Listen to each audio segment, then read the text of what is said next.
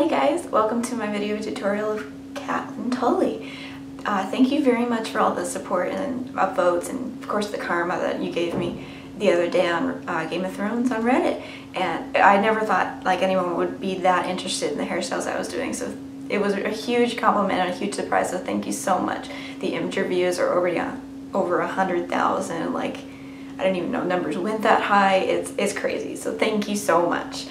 Also, if you really enjoy this, I encourage you to comment and tell me, you know, what you thought was really good, what you thought was um, not very good, because if this gets uh, enough interest, I'll definitely post more of the other ones that anyone wants that just comment and request it.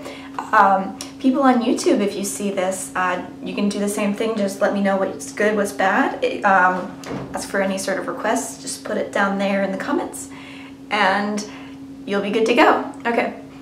So before we get started, I want to let you know about my sort of hair philosophy. Um, hang on, I need this down to do this. So, I'm of the opinion that you shouldn't try to completely, you know, utterly copy, replicate the hairstyles that you've seen.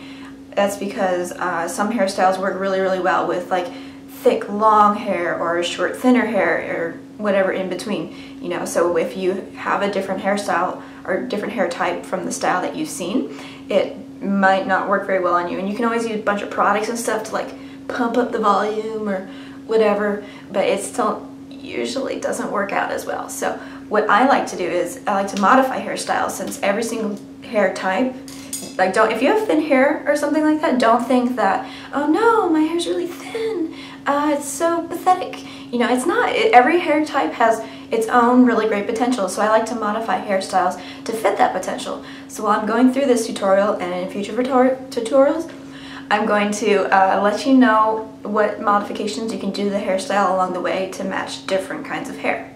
Okay? Alright, so now the stuff that you need for this style. The first thing you need is a brush or a comb. If you have finer hair like me, I like to use a brush. This is a, a boar bristle brush because it's nicer for your hair. It doesn't break it as much as a plastic brush would. If you have really thick hair, um, and it tends to get like poofy and frizzy whatnot when you brush it, I recommend a wide tooth comb like this.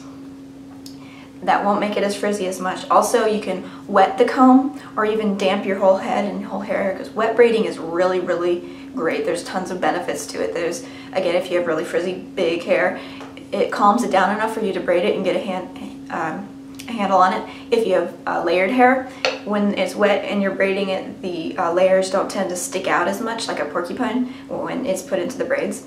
And if you have really staticky hair, like I sort of do, I've just like calmed down right now, but if you have really staticky hair because it's really dry and you have um, fine hair, then that's also really good because it won't be super staticky when it's wet. All right, I'm gonna do this one as dry just because I don't feel like getting wet right now. Uh, besides that, you're gonna need one small hair tie for the rope braid that goes around the crown of your head. You'd be able to see how shiny it is if my camera would focus. You're also going to need a larger hair tie like this for the braid that's going to become the French braid down the back of your head. And then finally you're going to need a handful of hair uh, bobby pins.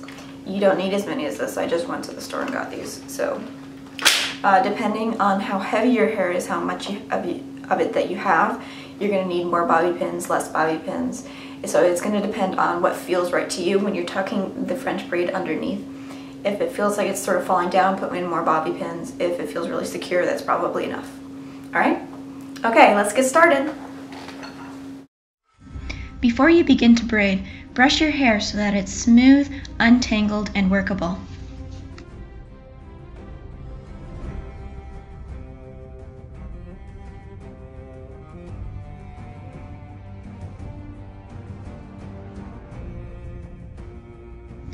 Now we're going to make the rope braids around the crown of the head. Take sections of hair from the hairline above your ears and section off with small hair ties. Before you do this, you should part your hair evenly. You'll notice I forgot to do this in the video, so one of my rope braids will end up higher than the other. Make them as thick as you want, but make sure they are equal sizes.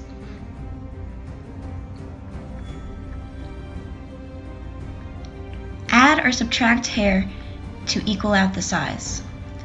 You can skip the rope braids entirely if your hair isn't long enough to meet at the back of the head, or if you just don't want to do them, but that makes it a little less Catelyn. When you have your mini pigtails ready, turn them into rope braids. For those who don't know how to rope braid, divide the hair you want to braid into two equal sections. Twist each half a couple times to the right, then begin twisting together in the opposite direction, in this case to the left. With each rope twist, twirl the halves in a counter twist a little more. Make sure you do this behind your head with the braid laying in the direction you want it to be in the final product, or you may get little bumps around the beginning of the braid. If this gives you trouble, you should practice rope braiding in a mirror until it feels easier. Continue rope braiding until you reach the end of the braid, at which time you should secure the rope braid with a small elastic. Repeat this process on the other side of your head. Again, braid in the direction you want your rope to eventually lay. You can twist the braid halves to the right again and twist those together to the left, but I like symmetry so I started this braid over and instead twisted the halves to the left and the entire rope braid to the right. After a few twists, it is okay to bring the braid over your shoulder to where it's easier to handle. You can make the rope braid as tight or loose as you want, since you'll notice in the show that Catelyn varies how many twists are in her rope braids.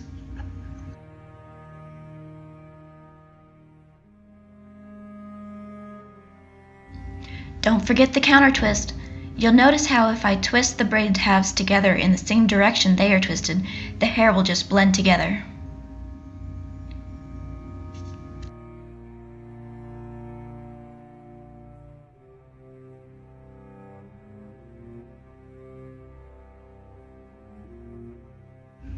At this point, we're going to secure our rope braids at the back of the head. You have two options now. You can simply tie the two braids together with a small elastic, but in this case the elastic will show in the finished look. In this video, I'm instead grabbing one half of each rope braid, specifically the half that is on top of the other at the point in the braids where they meet. Holding on to these halves, I release the rope braids and then tie the hair together I'm holding with a small elastic. This way, as the braids eventually untwist a little, the elastic will be pulled behind the braid and hidden, and there will be a mini waterfall braid effect from the other halves hanging free. Now it's time to do the French braid. If you've never done one of these before, grab a largest section of hair on one side of the rope braid tail and another section on the other side that is half as large. Divide the larger one in half so that you now have three sections of hair to braid with. Bring the far left over the middle strand and then the far right over the new middle strand. Before you braid with the left strand again, grab a section of free hanging hair from the left side of your head, add it to your strand, and braid. Do the same thing on the right side. Take care to make sure that each strand of your braid stays about the same size while you're adding new hair into the braid. If we're careful not to grab the rope braid tails in the first few iterations of the French braid, we'll be able to make these tails look like they are covered by the French braid, like Catelyn does in the show.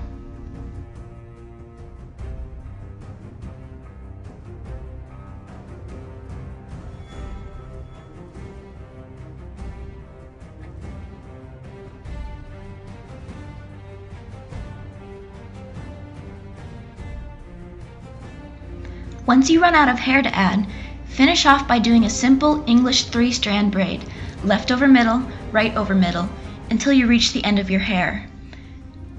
Secure with your larger hair tie.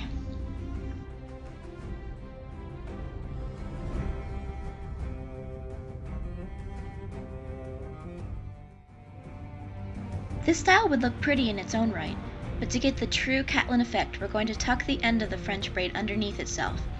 To do this, make a hole under the braid at your hairline with your fingers and stuff the hanging part of the braid into it. If there's not enough room, you can loosen the braid by carefully tugging on sections. When you tuck the braid into the hole, be careful that none of it pops through to the surface. This is especially important for girls with lots of hair to tuck.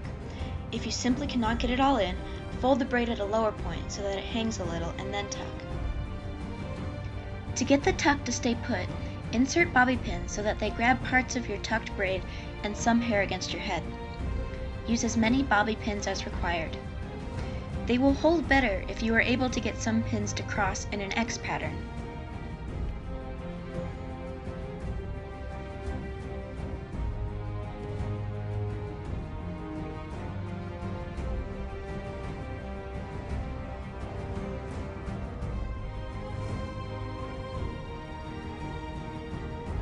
If you missed any hair at the nape of your neck like I did here, pin it up with the rest of the braid.